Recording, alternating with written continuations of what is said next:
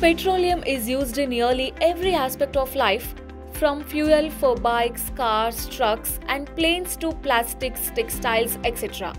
Without oil, there would be no global economy, and modern society cannot function without oil. Hence, more production of oil is a necessity of the hour, and we are also looking for alternative solutions as well, like green mobility. MEIL is addressing both the problems related to energy and mobility. It is executing the oil exploration project at Khambel in Gujarat and carrying out refinery projects in India and at international level as well. Furthermore, it is manufacturing electric vehicles for green mobility.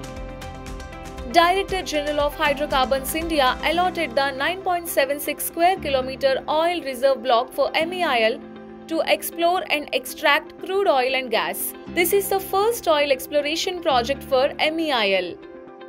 In the oil and gas exploration process, any entity conducts a geographical and seismic survey to identify and locate the well fluid. It started its oil exploration process and drilling the first well of Khambel oil field with advanced 1250 HO capacity drilling rigs.